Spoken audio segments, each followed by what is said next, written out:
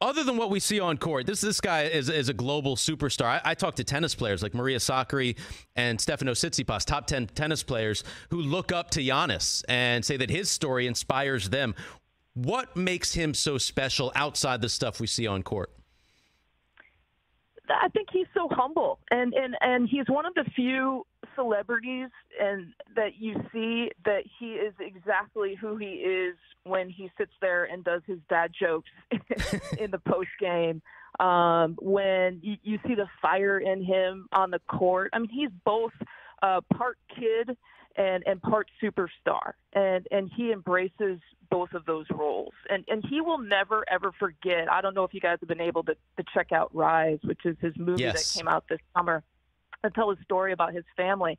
Uh, you know, family is so important to him. Number one, but number two, never forgetting about where he came from is equally as important. And so, because of that, he will always be uh, the, one of the most humble superstars you will ever meet, and and one of those guys that will never ever not show the joy of playing in an NBA basketball game or whatever whatever game he's going to be playing in. You know, I mean, I think the NBA gets a bad rap sometimes for for players mailing it in and not caring.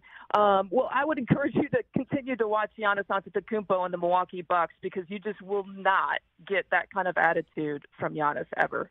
How many times did you have to say his last name over and over before you know the first first game call of the Bucks?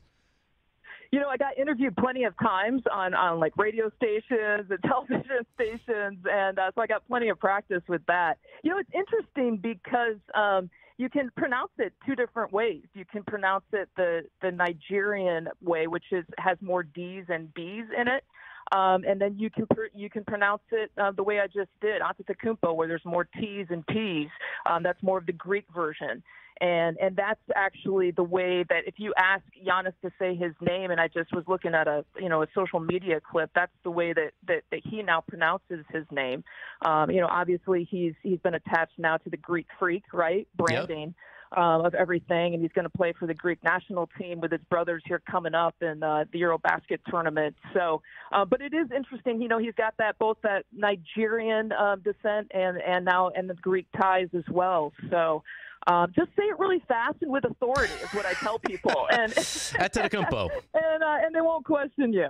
or, or just call him the Greek freak. Just call him. Yeah, I remember when he first came out. Or just call him Giannis. yeah, know, on SportsCenter, I would li- I would literally just say Giannis. Giannis. I'd be like Giannis. You know, I'd say it real big, you know, make it a big entrance.